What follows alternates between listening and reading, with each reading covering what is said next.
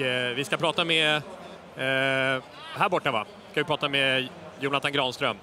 Eh, ja, du var inblandad i det mesta här Jonathan i, i samband med den här matchen. Mål och eh, tekningar och slagsmål inför, vad, vad säger du?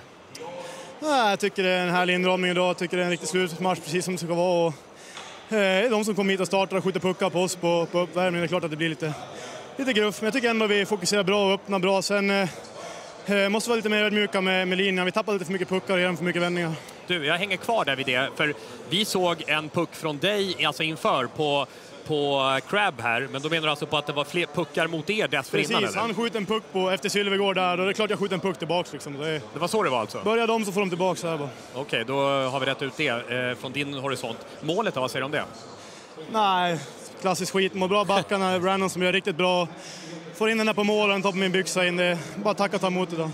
Ja, precis. Här har vi det igen. Framför mål. Jonathan Granström är extremt påslagen. Riktigt bra Brandon där och dra den i sidled och, och göra bort sin forward där och kunna få in den. Jonathan Granström är extremt påslagen som Niklas Wik gjort. Tekningar och allting. Känns det som någonting extra idag eller? Eh, hela laget känner inte något extra idag. Vi ska vinna idag, så är det bara. Okej, okay, tack Jonathan. Tack. Jonathan Granström.